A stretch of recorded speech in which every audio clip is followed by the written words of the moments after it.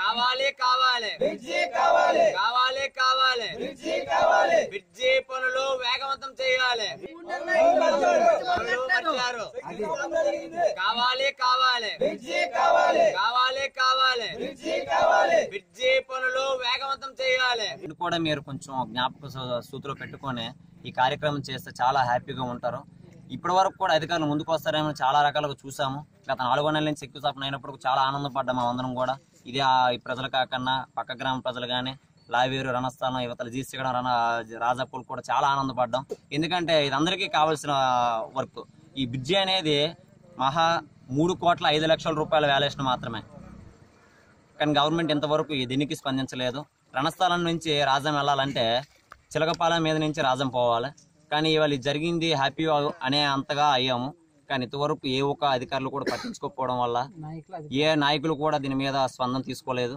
అలాగనే ఈ నాయకులే కాదు కదా అనేసి అధికారులు కూడా అదే విధంగా స్పందన అనేది ఎవరు తెలపడం లేదు. దీని వాదుకో దీని మేరకు కూడా అధికారులు కానీ నాయకులు కానీ స్పందించి ఈ ఒక బిజ్జి అనే ఈ వర్క్ని కొంచెం వేగవంతంగా నిర్మించాలని నిర్మిస్తే చుట్టుపక్కల ప్రజలు కూడా మీకు కూడా కానీ పనికొచ్చేదే. ఇది మీ నియోజకవర్గం మీ మండలం మీ హెడ్ క్వార్టర్లో తిరగవలసిన పరిస్థితి ఉంటుంది. మరి దీని మీద ఈ బ్రిడ్జ్ అయితే మాకన్నా ఎక్కువగా తిరిగేది మీరు కూడా ఉంటారు కాబట్టి దానివలన మీరు కొంచెం ప్రజా కొంచెం వేగవంతం చేయాలి ఈ బ్రిడ్జ్ వర్క్ని.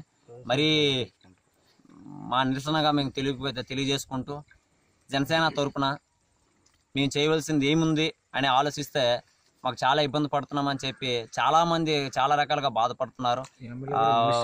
లోకల్ ఇండస్ట్రీకి వెళ్ళే కానీ పైడ్ ఫ్యాక్టరీకి వెళ్ళే వాళ్ళు కానీ హాస్పిటల్స్కి వెళ్ళే వాళ్ళు కానీ అత్యవసరాల కోసం వెళ్ళే వాళ్ళు కానీ ప్రతి ఒక్కరు కూడా చాలా విధంగా ఇబ్బందులు పడుతున్నారు కాబట్టి ఈ దీని మీద ఈ మేరకు అధికారులు కానీ నాయకులు కానీ స్పందించి ముందుకు వస్తే అందరిమీ చాలా ఆనందం వ్యక్తం చేస్తాము. నాది నిమ్మల వలస.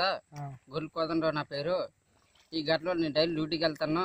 నాకు ఇంచుమించు పదహారు పదహారు కిలోమీటర్లు ఎక్కువ అయిపోతుంది యువతలు వేసి రెండు కిలోమీటర్లు వచ్చే ఐదు నిమిషాలు ఇంటికి వెళ్ళిపోలేను ఇంచుమించు అరగంట ఎక్కువ అవుతుంది నాకు. ఇంచుమించు గడ్మిల్లు కానీ ఎవరు కానీ వచ్చినప్పుడు ఇబ్బంది అయిపోతుంది. హాస్పిటల్ కానీ దీనికి మాకు అందుబాటులో హాస్పిటల్ లేవు. ఇంచుమించు రాజమహల్ నుంచి ఇంచుమించి చుట్టూ తిరాలంటే రెండు గంటలు ఎక్కువ అయిపోతుంది ఈ గడ్డ మార్గం గుండగా వెళ్తే చాలా మాకు ఇబ్బందిగా ఉంది. మరి చుట్టూ వెళ్తే మాకు పదిహేను కిలోమీటర్లు వేస్ట్గా ఉంది.